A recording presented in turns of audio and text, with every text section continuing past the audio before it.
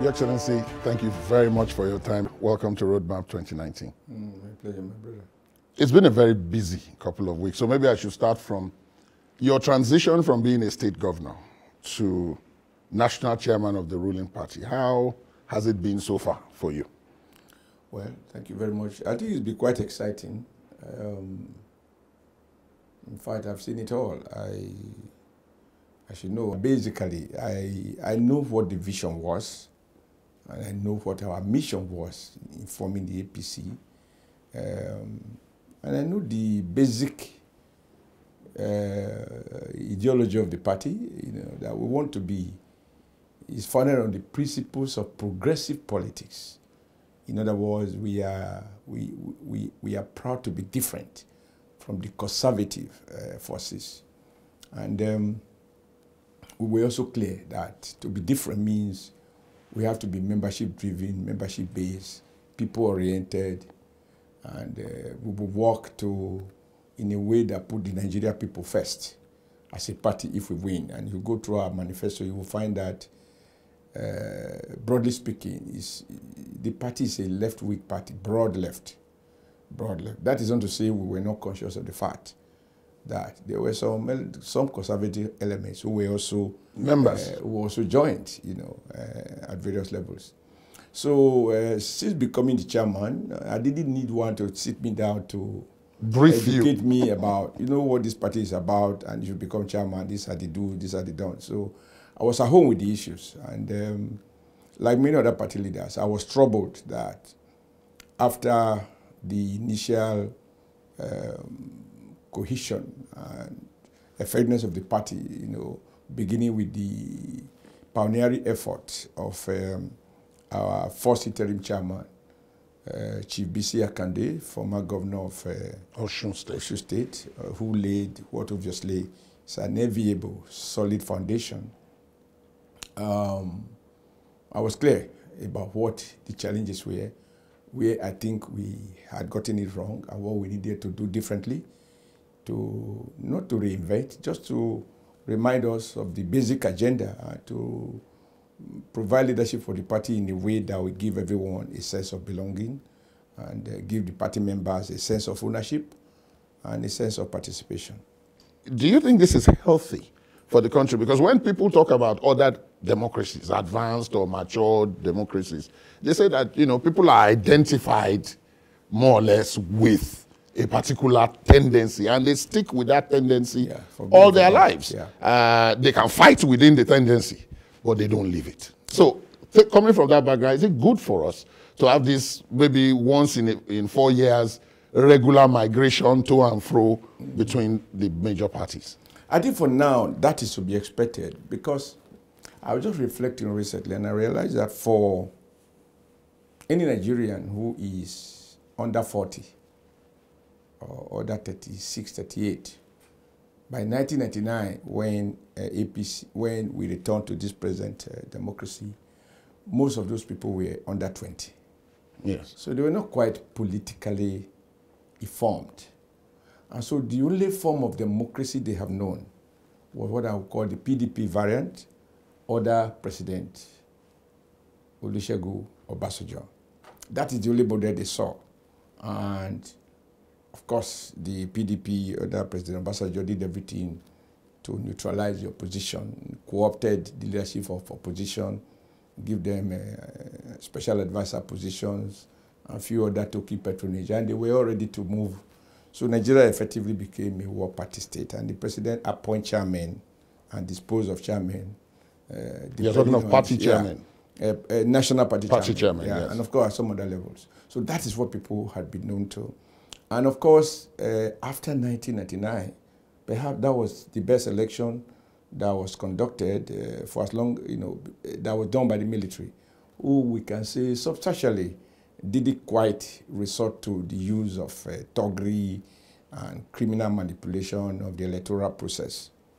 And so once from 2003, it became obvious to Nigeria. Remember when the then president said the elections were do or die for him, and PDP then decreed that they were going to run the country for 60 years.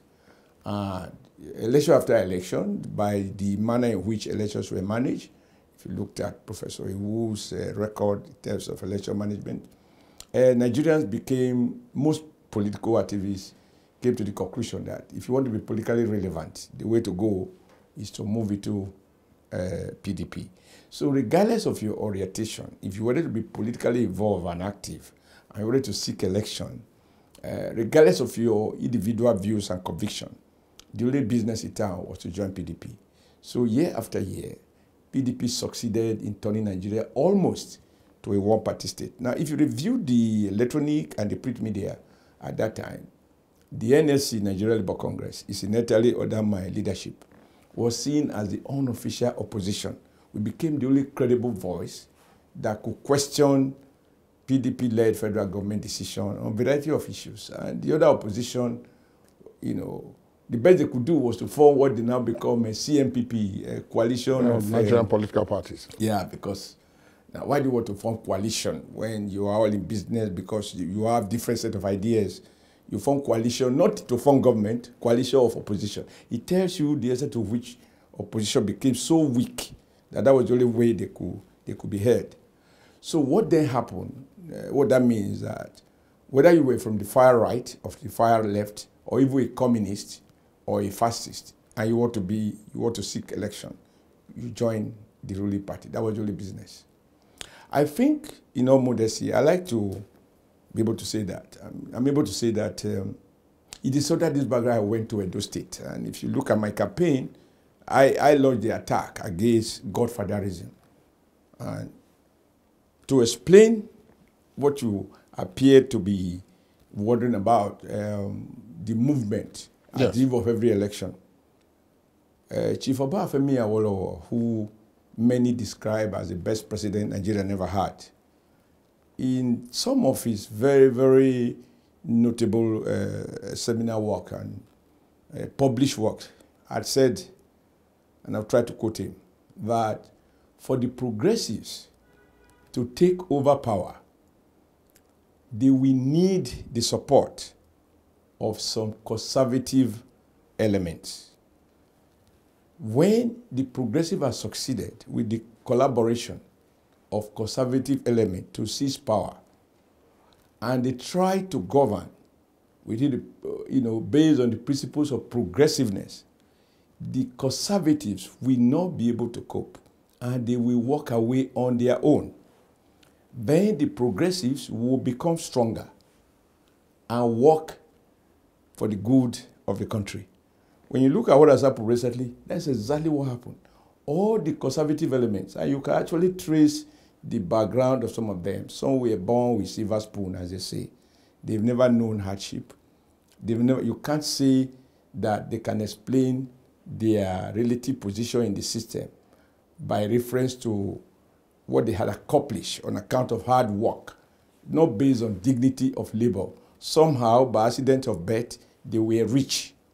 A couple of them like that. So you can't say, when you look at this background of some of them, that they were have anything to qualify them to be conservatives. But they have lent a happy hand to form uh, the APC and to wrest power for the conservative. And once we were in power and the federal government has chosen to be faithful under President Buhari to the principles of progressive politics, which necessarily mean re-emphasizing the right of the ordinary Nigerian to try to formulate, formulate public policies that are people-oriented, people-focused.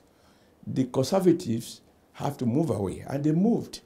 And as you can see, after they left, I believe APC is even stronger. More progressive elements are coming in, and the best example is the one we went to uh, discuss with yesterday, uh, former Governor Shekarau, a classroom teacher. He was a classroom teacher before he became the governor of Kano State.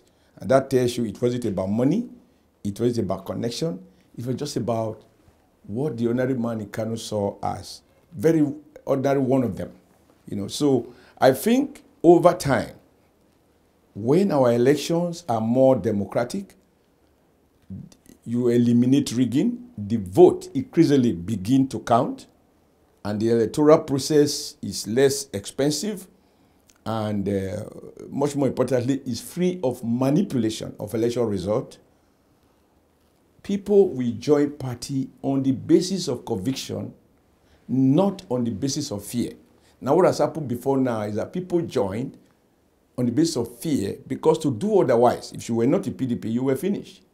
I think that the current realignment, we get to that level whether you are either to the left or to the right. And like you rightly said, within the right, there will be various shades of opinion. They will do battle within the right.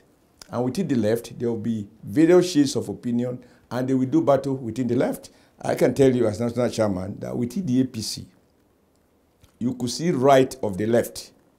You could see, see left, left, of the left. The left yes. And you can see center of the left, but broad left. I mean, when President Muhammad Buhari says, no matter how poor or how uh, our revenue have declined, I want to be able to devote half a trillion naira, 500 billion, to be managed under the social intervention fund, whether it is a conditional uh, grant transfer, transfer, and some other social policies, that the poorest among us should, should get 5,000. It tells you a commitment to the poorest of the poor. And, and that is what uh, those interventionist policies, they do not coincide with the logic of market forces.